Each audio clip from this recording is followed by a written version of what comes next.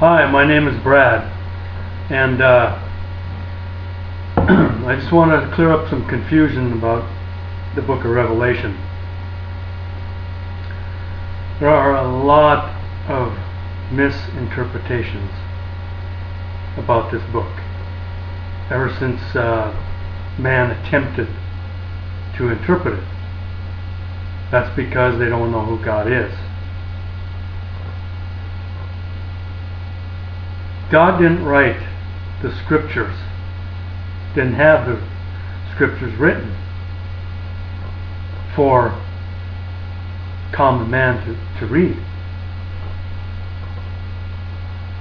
He wrote them, had them written so that his future prophets, Jesus, and saints could gather some prophecies and understanding and add it to the understanding they already had. What people don't realize is that Jesus had God in him after he received the Holy Spirit. The Holy Spirit is understanding of all things. That's who God is. God is the originator of all thoughts. That's where everything comes from. And he uh, he put that into Jesus. It's like a duplicate of himself. This is called the Word. He created the Word to be the voice, his voice to communicate to his creation. And ever since uh, that happened with Jesus, everybody who came to know God and obeyed Him, I should say all the saints, received this word in their heart, just like Jesus did. The reason the saints got it because they were all originally created as the Word of God. Now, the prophets that came before them were also created as the Word, but they didn't get to have this Word live in their heart. Because they were sinners. Jesus was the first sinless man. So God could come and live in him. God couldn't live in his prophets. But since they obeyed the word, he was able to speak through them. Because they were created as the word to speak for God. So all these people were made to speak for him.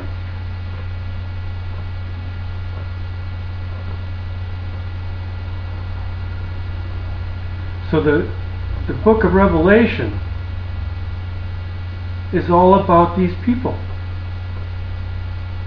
and how they escaped the beast.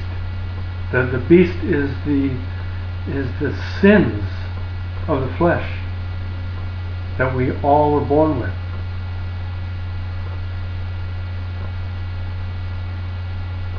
How did they escape it?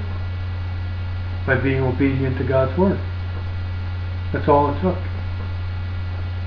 Obedient to His Word. Listening to His Word.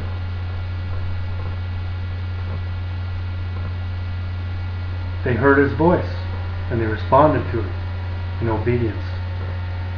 And they kept obeying Him. Every time God came to them and, and asked them for something, or commanded them, I should say.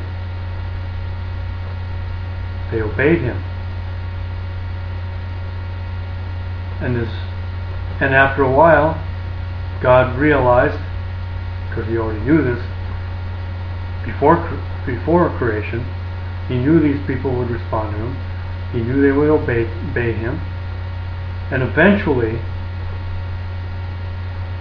he used them to speak.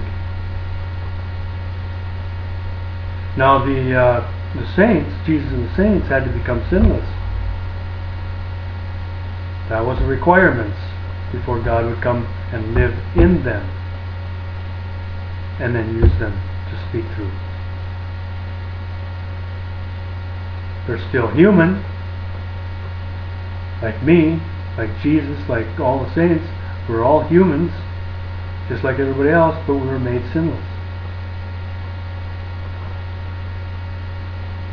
We don't have those those desires of the world anymore.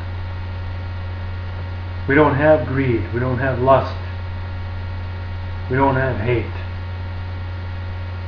We don't have gluttony.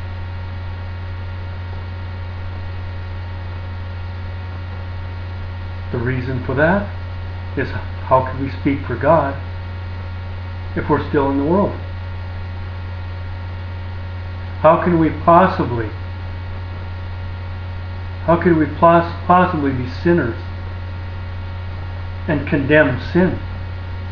How can we be sinners and judge others?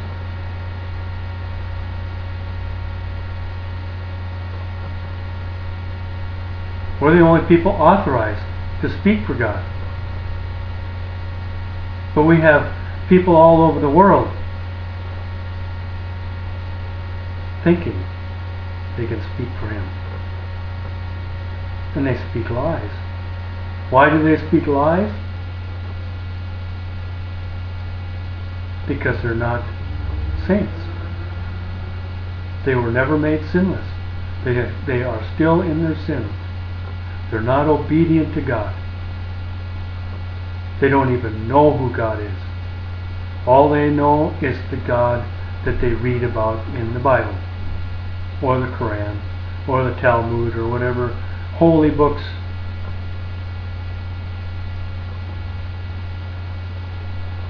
They're not of God. They want to be like God. They want to stand up in front of people and be praised for how good they do.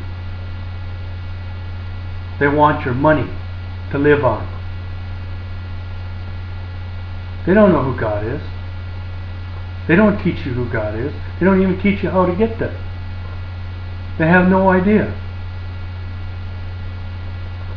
They preach a gospel that says all you have to do is pray, say, uh, I believe in Jesus. Well, who's Jesus? Jesus I don't know who Jesus is, but it says in the Bible.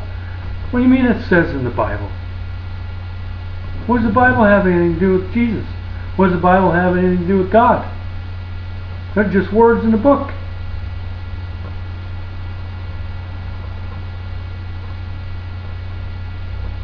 Praise the Lord. What does that mean? Praise who? What are you praising? You don't even know who the Lord is. Do you know what it takes to know the Lord?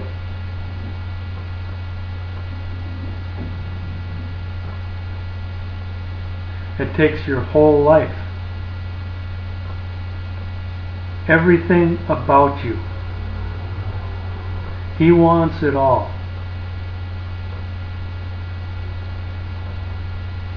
Not just a sin. Not just going to church on Sunday morning.